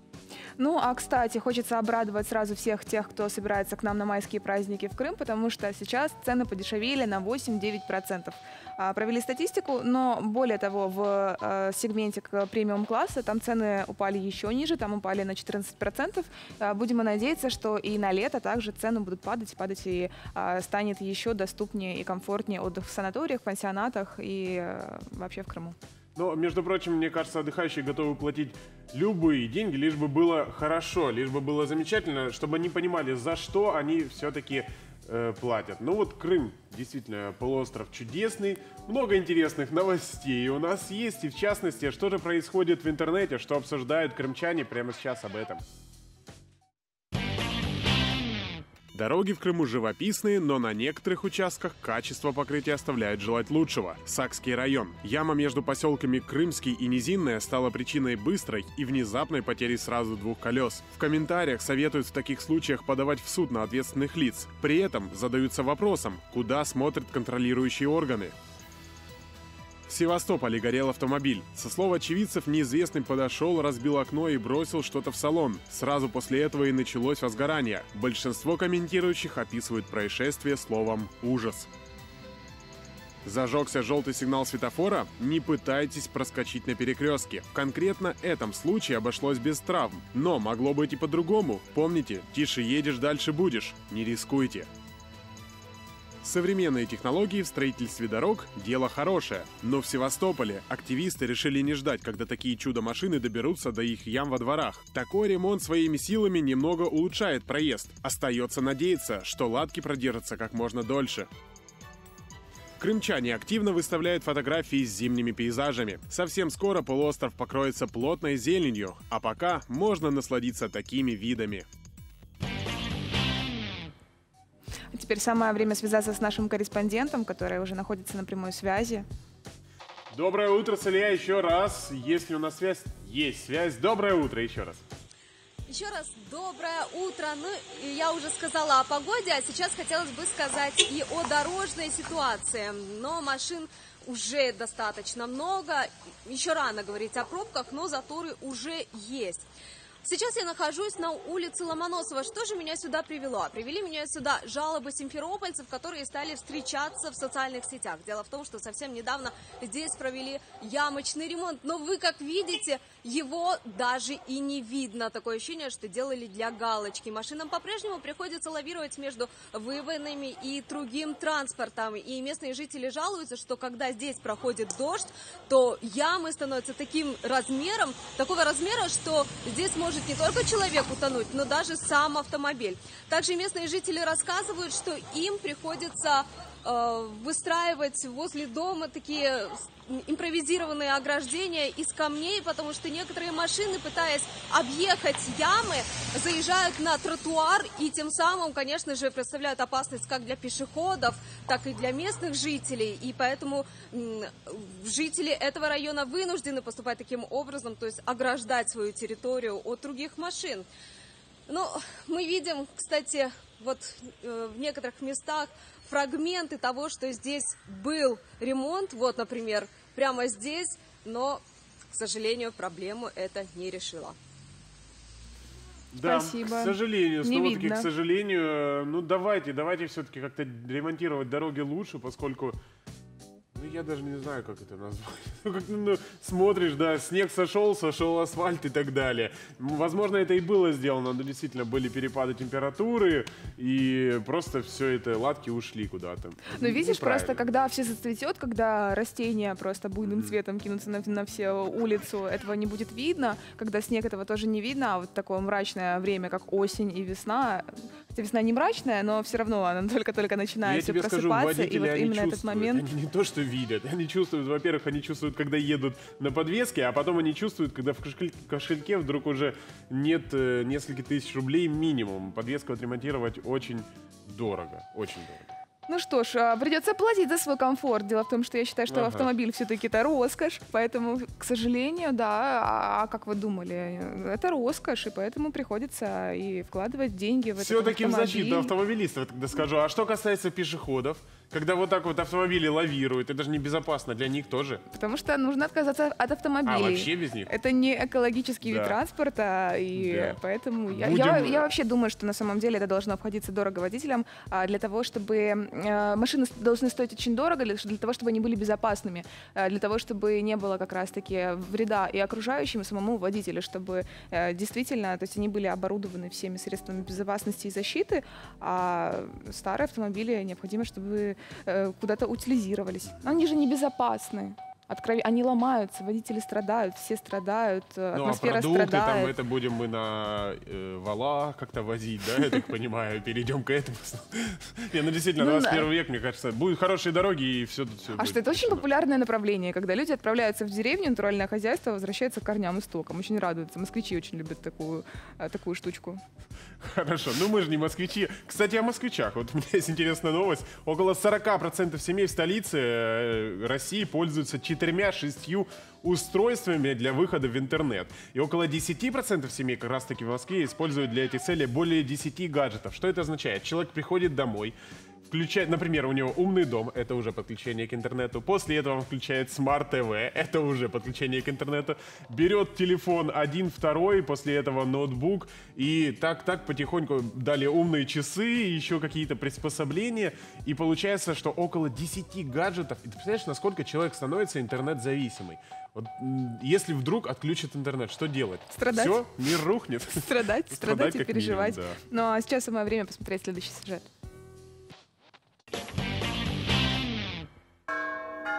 На торжества в семинарском храме трех святителей в день их памяти традиционно собираются не только педагоги и учащиеся Таврической духовной семинарии. Еще раз прикоснуться к блистательному наследию светильников мудрости, веры и благочестия, так еще называют вселенских учителей, святителей Василия Великого, Григория Богослова и Иоанна Златоуста, живших в IV-V веках от Рождества Христова. Очень важно, чтобы семинаристы ощущали эту великую преемственность поколений, ощущали это великое наследие. Потому что семинарий ведь не просто э, учебное заведение, где готовят будущих пастырей православной церкви. Это просветительский духовный центр, который несет свет Христова учения в мир. Возрожденная много лет назад Таврическая духовная семинария в историческом здании распахнула свои двери впервые при святителе Гурии архиепископе Таврическом, подлинном наследнике трех вселенских учителей. Это люди большой и длинной воли. Это люди большого и длинного ума. Это люди, которые, вобрав в себя всю античную ученость в свете евангельской правды, преломили своей жизнью священную традицию и настолько ее преломили и умножили и сделали более глубокой, что мы питаемся из замутненных колодцев их премудрости по сегодняшний день. Семинаристы поздравили с праздником ректора семинарии митрополита Симферопольского и Крымского Лазаря. Дорогой Владыка, мы видим вашу архипасторскую поддержку, помощь и любовь каждому из нас. И от лица всех учащихся Таврической духовной семинарии хотим пожелать вам, чтобы ваша духовная мудрость, жизненный опыт способствовали внутренне- внутреннему единству и духовному единству всего общества нашего, чтобы ничто никогда не смогло э, омрачить ваш, вашу светлую и жизнеукрепляющую силу, дабы Таврическая семинария наша стала воистину тем евангельским градом, стоящим наверху горы, от пламени веры, которые возжигались бы новые сердца. Владыка Лазарь был искренне тронут теплыми словами своих воспитанников и викарного епископа владыки Ялтинского Нестора. Вас благодарю за столь обстоятельный экскурс в прошлое и настоящее. И дай Бог вам жить мудростью. Церкви Христовой не болеть. И Бог вам Прости, помощи. Господи, Владыка. В день семинариста лекций не будет, чему молодые люди, как и всякие студенты, очень рады. Феврале 2016 года компания стартаперов, это людей, которые только-только начинают какое-либо изобретение внедрять, а, запустила сервис «Найди лицо». И что самое удивительное, что можно теперь найти а, людей, которых ты встретил случайно на улице. Если ты а, фотографию его просто поместишь в этот поисковик, он постарается найти его в социальных сетях. И э, это очень здорово, потому что это действительно есть возможность теперь найти человека, который так тебя глубоко поразил, когда ты встретил его случайно на улице. А редактор редакция исследования проверяла на себе, искали а, свои собственные профили. И действительно находила не только профили в социальных сетях, но еще и даже если вдруг а, ты есть у кого-то на чужой фотографии, и а, несмотря на то, что а, улыбка есть или нет, а, может быть как-то как повернуто лицо обратно или какая-то прическа специфическая, все равно находит сервис, действительно работает, и пока что он еще и на безвозмездной основе проверяет а, свои силы и возможности. И вот появилась еще одна новость, то что ВКонтакте подает в суд как раз-таки на этот сервис, потому что говорят, что необходимо соблюдать конфиденциальность, а такой, таким образом можно раскрыть все персональные данные. Ну, друзья, что касается мира интернета, прямо сейчас давайте самое интересное посмотрим. Артем Андроновский нам все подготовил.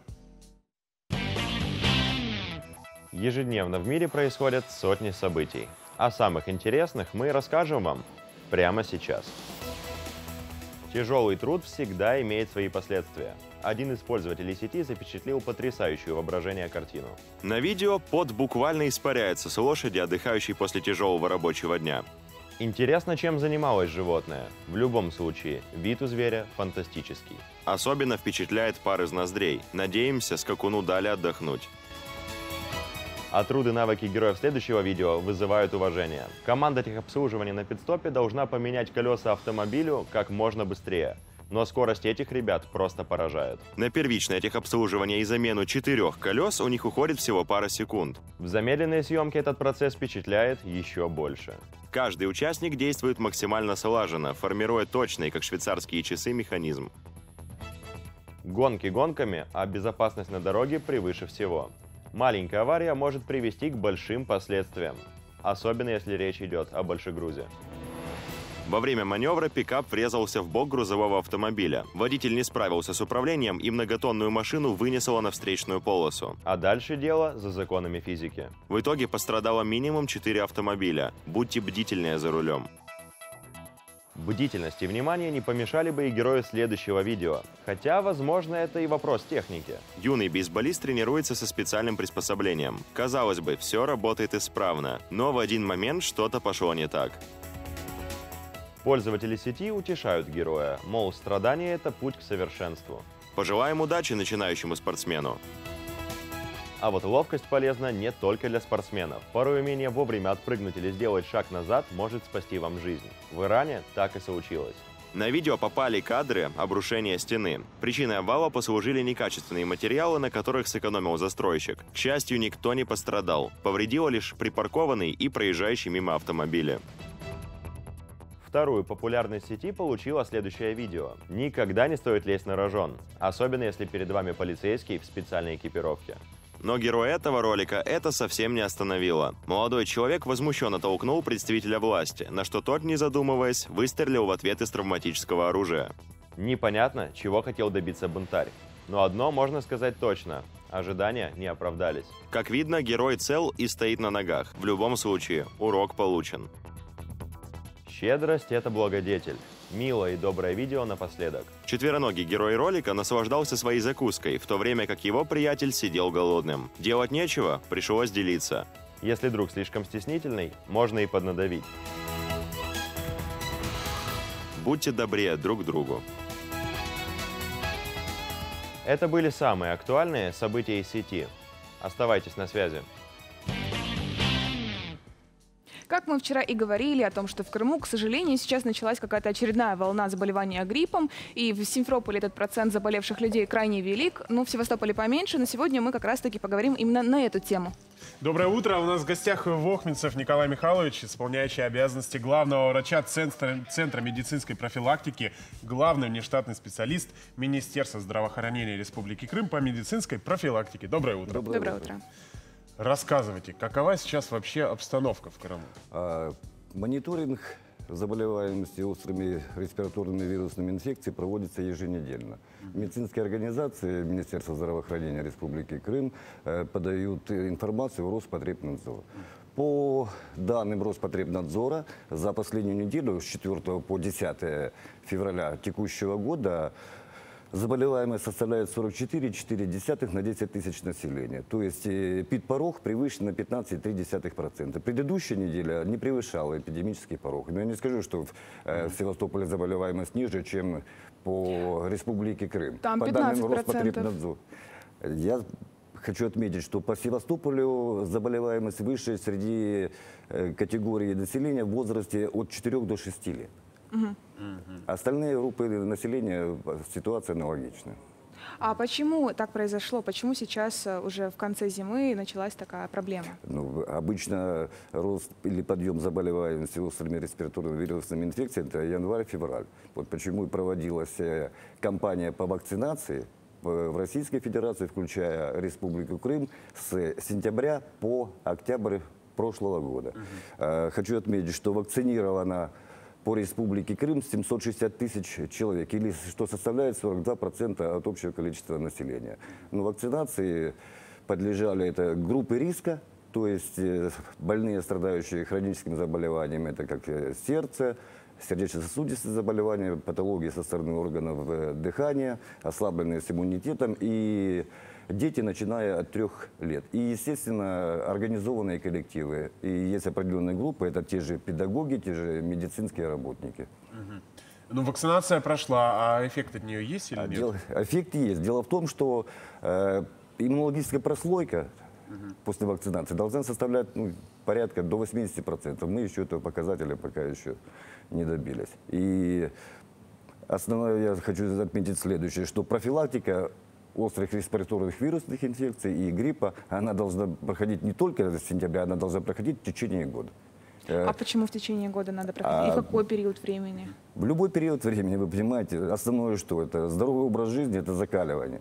Занятие ну, той же физической культурой или спортом, э, здоровое питание. Вот, кстати, жители Симферополя тоже готовы поделиться своими секретами. Как же не заболеть? Давайте прямо сейчас и посмотрим на это. Во-первых, поменьше быть в общественных местах с детьми, а уединяться тогда не будут как бы. И поближе где-нибудь к морю, как-нибудь вот так. Наверное, врачи должны больше внимания населению уделять. Больше гулять с детьми, больше. Чихать. Это первый признак.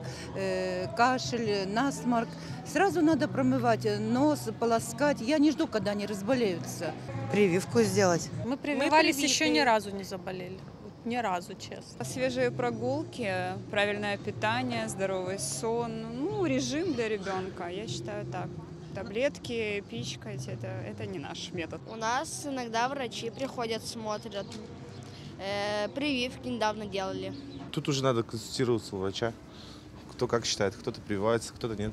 Кварцевые лампы, чтобы везде были, а которые дневно, которые можно даже в присутствии людей. Вот это обязательно, мне кажется, везде надо. Прививки мы делаем каждый год. Вначале, как только прививки объявляют, в сентябре мы делаем уже несколько лет и заметили, что мы очень э, вообще нормально переносим зиму и без гриппа, без ничего. Даже если что-то бывает, но без всяких таких осложнений. Поэтому советуем всем. Нужно есть имбирь с медом, с лимонами и с апельсинами. Вот гриппом не болею. Народное только знаю. Лук, чеснок. И, и надо на воздухе гулять. И, и хорошее питание. Больше на улице надо бывать, витамины давать. к терапевту сумасшедшие очереди в, такие, в таких ситуациях обычно. Вот, и как бы, ну, чтобы э, был доступ к терапевту, чтобы было больше э, специалистов, которые могли бы выходить на дом, чтобы люди не собирались в поликлиниках, ни друг друга не заражали, ну, заново. Чтобы мамы больных детей не водили.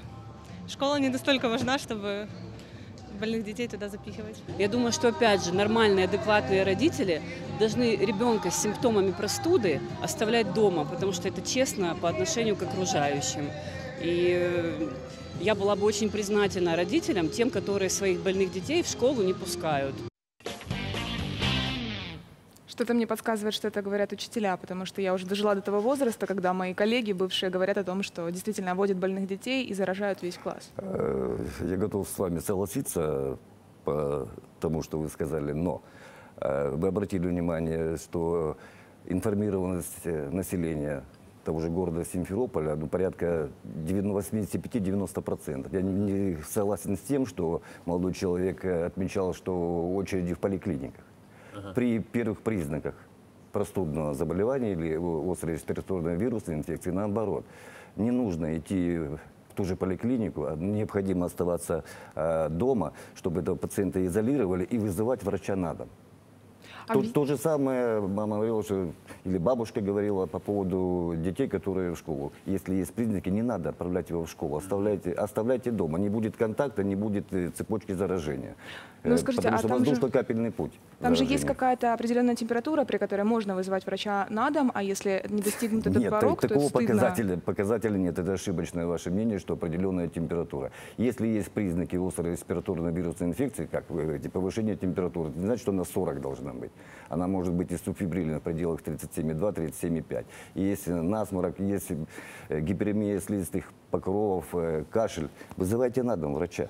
На дом врач это не скорая помощь, да? Это не скорая понимаю? Это в помощь. поликлинику звонишь Да. по месту жительства. Это в поликлинику ваш участковый э, врач или семейный врач. Мгм. И он обязан обслужить на дому. А какие еще э, есть средства? Вот э, мы слышали, что молодой человек советовал есть лук, чеснок. Насколько они работают? Ну, это народные, народные средства, так называемые фитонциды. Они позволяют не, про- не проникать э, вирусу через слизистые оболочки. Ну это правда? Они работают? Я не могу сказать, что они работают 100%, э, но в какой-то мере, да. То есть они помогают, насколько я понимаю. У нас остается вот немного времени. Скажите, да, вот сейчас действительно такая ситуация не самая простая. Что человеку, как ему не заразиться, как действовать? Э, Не посещать э, общественные места с большим скоплением людей. Э, Принимать меры предосторожности именно для себя. Вот тот же масочный режим, почему вводится? Это Помогает, мера предосторожности не от того, что для больного, который уже заразился, он уже, уже поражен вирусом, а именно для того человека, который пока еще здоров. Вот такая, в принципе, ситуация на сегодняшний день. И, естественно, еще раз повторюсь, появляются признаки, оставайтесь дома, вызывайте врача на дом. Ну, вот такие вот советы, действительно, я думаю, они действенны в первую очередь. Спасибо огромное за то, что вы пришли к нам в гости в этот утренний час. Ну, а наш эфир продолжается. Прямо сейчас давайте посмотрим прогноз погоды.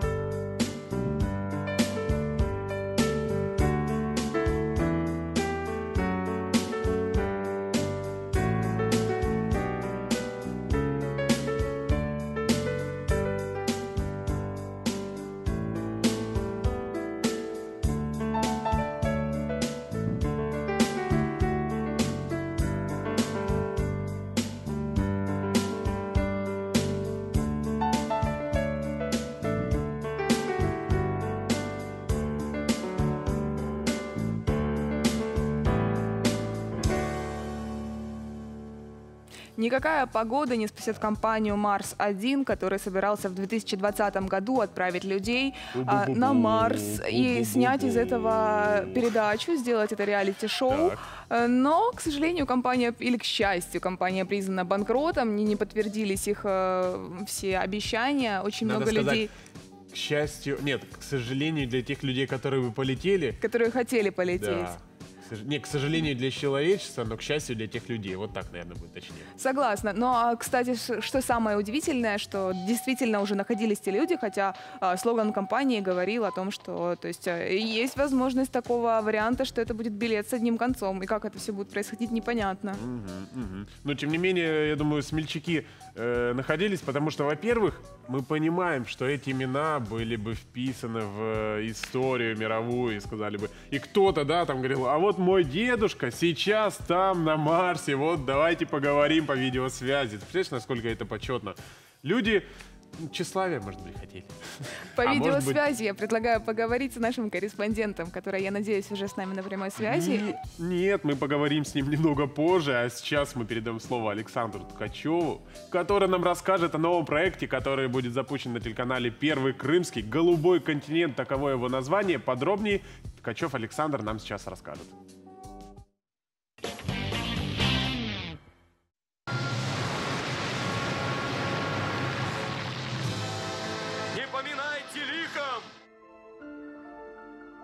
Известно, что морская пучина изучена менее чем на 10%. Оставшиеся 90% таят массу загадок. И хотя Черное море не самое глубокое и таинственное, но и его воды хранят немало секретов. Сегодня, чтобы прикоснуться к ним, совершенно не обязательно быть новгородским купцом Садко или профессиональным аквалангистом. На Первом Крымском стартует проект «Голубой континент».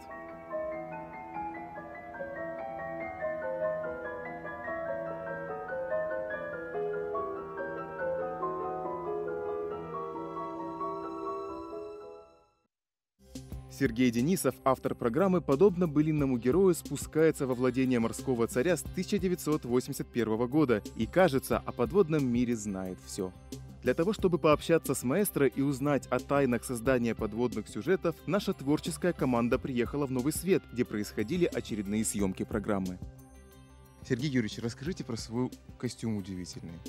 Ну, это не удивительный костюм, это как один из аксессуаров того, что должен иметь подводный оператор, который позволяет работать и в осенний период, и на больших глубинах, и, естественно, зимой. А Средняя температура Черного моря зимой 4-8, то есть где-то вот в этих пределах, э, то есть э, можно нырять. А вот этот агрегат, что это такое? А, ну, это наш обычный акваланг, который изобрел всеми известный Жак Кусто вместе с инженером Эмилем Ганьяном еще в середине 40-х годов. Это авто- автономный дыхательный аппарат на сжатом воздухе. Широко распространено ошибочное мнение, что акваланги заправляют кислородом. Этот газ в чистом виде оказывает токсическое воздействие, поэтому при погружениях с аквалангом используется обычный сжатый воздух. Давление внутри стального баллона не слабое – 200 атмосфер. Через первый редуктор давление снижается до среднего – 10 атмосфер. И далее по шлангам подается еще одно приспособление. Эта штука, которую изобрел Кусто, называется легочный автомат. То есть он автоматически подает воздух нам на вдох на любой глубине. Изменяется глубина, изменяется давление на вдохе. Но мы при этом чувствуем себя комфортно и совершенно автономно. Гидрокостюм, акваланг, маска. Но, как известно, красота кроется в глазах смотрящего, а очами подводного оператора является его камера. Чтобы снять качественно под водой, желательно иметь бокс, не- некий по-русски ящик, в который монтируется камера. Бокс позволяет э, снимать на разных глубинах. Вот эта модель работает до глубины 60 метров. Объектив э, снабжен специальной сферой, сферическим иллюминатором, который сохраняет э, широкий угол зрения под водой. Такой иллюминатор, пожалуй, самый главный секрет удачной подводной съемки. Вода, как более плотная оптическая среда, увеличивает предметы почти на 30%. И если угол зрения не будет увеличен, картинка выйдет неконтрастная. Для съемки, допустим, макропланов этот иллюминатор отстегивается, вот здесь есть переходное кольцо, и ставится плоский, плоское стекло. Но, естественно, под это стекло нужно и менять тогда объектив, ставить специальный макрообъектив для съемки мелких объектов под водой. Глядя на кадры, выполненные Сергеем Денисовым и его командой, захватывает дух. Однако дайверы-документалисты отмечают факт, что за последние несколько лет подводный мир сильно оскудел. Одной из причин являются тральщики, не только хищнически уничтожающие рыбу, но и разрушающие всю экосистему морского дна. Однако, несмотря ни на что, Черное море все еще прекрасно и способно удивить. В этом убежден любитель дайвинга Александр Владимиров. Черное море, некоторые туристы думают, что здесь смотреть нечего, и красот нету, и рыбок нету. Но это не так. Это программа, которая сейчас на данный момент выходит в эфир. Э, Там очень будет много всего полезного. Будут подводные гроты, э, старинные якоря, э, осколки амфор.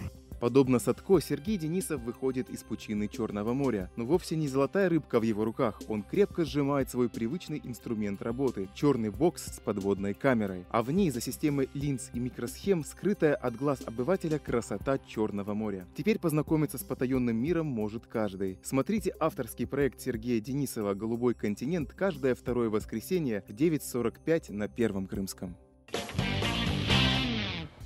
А теперь хочется рассказать о минутке доброты. В Краснодаре мужчина арендовал целый трамвай за 50 тысяч рублей, чтобы возить бесплатно и на нем пассажиров. Я просто хотел, чтобы все улыбались, говорит мужчина. Но руководство пошло ему навстречу, только договорилось с ним, что ему необходимо будет все-таки а, на, повесить в трамвае предупредительные надписи. Люди очень долго не верили, что им не нужно платить за проезд, поэтому мужчине пришлось самому выйти а, из-за руля трамвая, пройтись по салону, объяснить, что происходит, и только после этого в течение дня люди, наверное, действительно радовались, потому что а, очень интересный, необычный повод.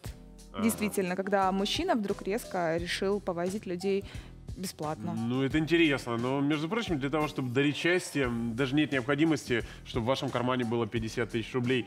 Просто Просто будьте добрыми. Просто улыбайтесь прохожему и просто, если захотите, там, обнимите. Пусть это как странно не будет происходить, я не знаю, идешь, идешь, вдруг внезапно тебя кто-то обнял. Ну, друзья, только предупредите обязательно человека, что вы хотите Я это иду сделать. тебя обнимать. Да, да, да. Ну, я не знаю, все-таки это немножко тоже странно. Лучше знакомых людей обнимать, потому что на улице Хорошо. эти объятия как-то, наверное, могут вызвать у кого-то какие-то подоз... Тихо. Нет, нет, я не иду обнимать тебя. Подозрения. Я сейчас, я готов, я готов просто рассказать. Хочу через тебя пройти и о пробках рассказать. Хорошо, Ладно? хорошо. Всё, Ох, Алиса, Алиса. Итак, друзья мои, расскажу о том, какая же дорожная ситуация на данный момент в Симферополе. Начнем с этого города. Итак, во-первых, хочу заметить том, что в принципе никаких ДТП не показано. Это уже радует. Вчера в это время несколько было и движение было затрудненное. Итак, улица Воровского. Начнем с этой улицы. Бордового цвета она, и это означает, что движение в принципе традиционное для этого времени там неблагоприятное, я бы так сказал. Но, тем не менее, я думаю, знают, что люди необходимо заранее выезжать для того, чтобы на работу все-таки не опоздать. Проспект Победы возле площади Куйбышева. Все достаточно непросто, красные цвета преобладают. И со стороны Московского кольца тоже желтые цвета. Я думаю, что проехать достаточно сложно. В это время, в принципе, все логично. Все в основном сейчас э, в центр едут, поскольку с окраин необходимо добраться до места работы. Давайте переместимся ближе к центральному рынку. Вот площадь Амедхана Султана. Она была реконструирована, дорога там полностью обновленный асфальт. И мы видим, что зеленый цвет там в основном. Ну а ближе к перекрестку, вот Севастопольская и улицы Козлова, между прочим, многие поворачивать начинают. Вот если двигать, двигаться да, с улицы Козлова, некоторые до сих пор поворачивают на Севастопольскую. А там висит знак, что делать этого нельзя. И, возможно, именно из-за этого и возникают пробки у нас. Друзья, давайте все-таки соблюдать правила дорожного движения. Пока не штрафуют, там еще выносят предупреждение, поскольку так положено, но совсем скоро, мне кажется, эта ситуация уже обязательно будет исправлена. И еще переместимся к новенькой дороге Левотки-Дубки. Она у нас зеленого цвета, и вот улица Севастопольская, как раз таки, где строится еще развязка с э, примыканием этой дороги. Там немного красный цвет есть, но ничего страшного. Я думаю, совсем скоро все уже будет сделано, и мы будем щеголять этим новеньким дорожкам. Итак, потихоньку перемещаемся в славный город-герой Севастополь. В Севастополе традиционно меньше пробок. По крайней мере, ой, что-то у нас вообще их не показывает. Нет, уже стало показывать. Итак, вот красный цвет я вижу на проспекте генерала Острякова есть и перекресток улица Олега Кошевого. Между прочим, вчера там было ДТП, сегодня уже все хорошо. Возможно, пар- пасмурная погода. Вчера солнце слепило водителей. И в связи с этим как-то была э, какая-то неблагоприятная обстановка, в том числе ДТП было. В Ялте у нас все хорошо, немного красного цвета есть. Снова-таки, вчера было ДТП, сегодня все отлично. Перемещаемся в сторону Керчи, там у нас все замечательно. И Крымский мост, зеленый цвет, друзья, можем ездить в любом направлении. Все для вас, все открыто. Ну что, Алиса, ты готова э, к обнимашкам? Я готова для того, чтобы услышать, что же нам расскажет наш корреспондент, который А. должен к нам выйти на связь. Я Да, его ожидала очень связь. давно, я хотела видеть его еще до этого, но наконец-то он готов мне ответить, что же там происходит на улице. Доброе утро, Салья. Доброе утро, Крым. И еще немного скажу о погоде. Сегодня ожидается до 6 градусов тепла, без осадков, но на солнце надеяться не стоит, потому что на улице на небе облачно, хотя уже начинает проясняться. И сейчас, наверное, как вы догадались, я нахожусь в троллейбусе. Дело в том, что совершенно недавно симферопольцы начали жаловаться на грязный общественный транспорт. Доходило до того, что из-за заляпанных окон не было видно своей остановки. Я решила воочию в этом убедиться, и по моим наблюдениям э, окна достаточно чистые. Я узнала у водителей, оказывается, троллейбусы моют каждый вечер, поэтому горожане могут спать, а вернее ездить по городу, по троллейбусу спокойно. Но э, скажите, пожалуйста, вас устраивает чистота троллейбуса? Вас устраивает. Вот, как видим, горожан устраивает чистота нашего общественного транспорта. Студия. Спасибо. Спасибо. Я думаю, что все-таки речь, э, наверное, жаловались не на троллейбусы, потому что они действительно у нас новенькие, красивые, а есть действительно старые ржавые маршрутки, которые скрипят, и действительно страшно в них заходить. И вот там действительно возникают вопросы, пользуются ли уборкой водители, и кто это делает, и когда это делали последний раз. Вот. Но хорошо, что сейчас больше и больше закупают автобусов э, для общественного транспорта, а автобусов и троллейбусов, и они в хорошем состоянии находятся, и в них приятно ездить. А летом обещают, что там еще и будут работать кондиционеры, что в нашу жару крымскую очень пригодится. Да, очень пригодится. Для чего в первую очередь, Алис? Для обнимашек, конечно. Все никак не успокоишься. Да я просто решил уж продолжить тему. Друзья, ну все, пора перемещаться нам из э, улиц Симферополя в Севастополь. Ольга Литвиненко подготовила сюжет. Давайте его и посмотрим.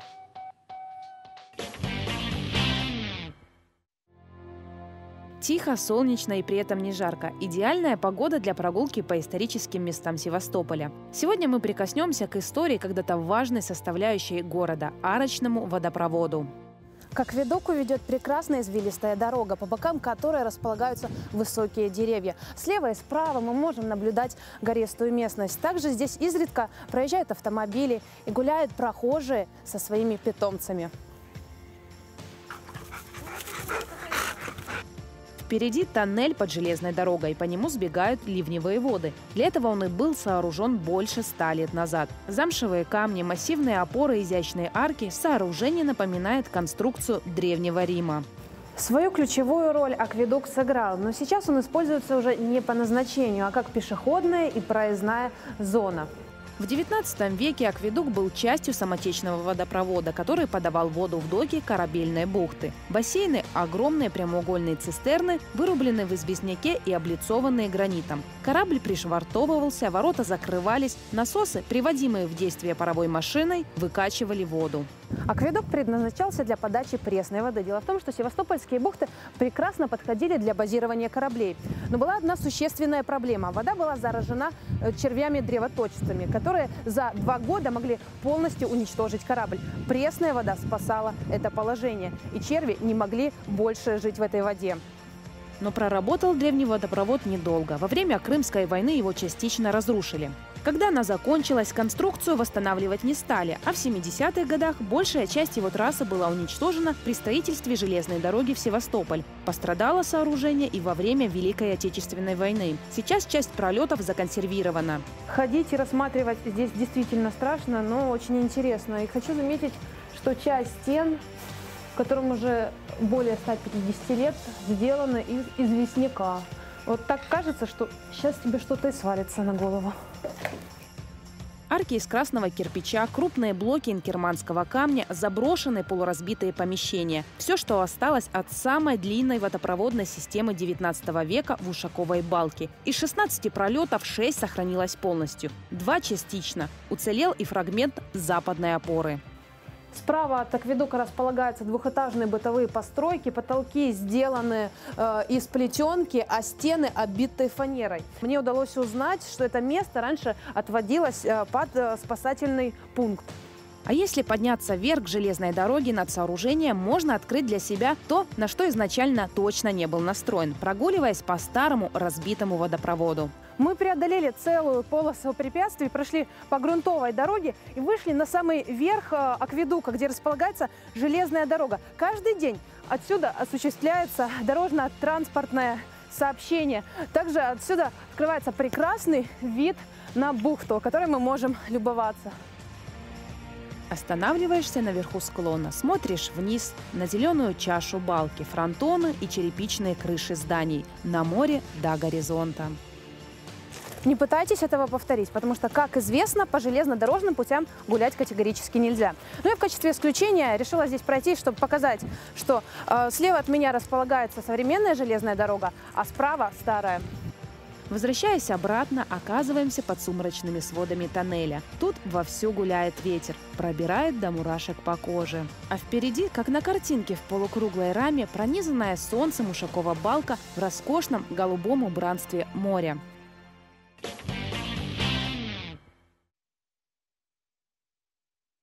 Клуб «Шико» – настоящий друг и советник для всех, кто не представляет свою жизнь без животных. Каждую субботу в утреннем эфире на Первом Крымском.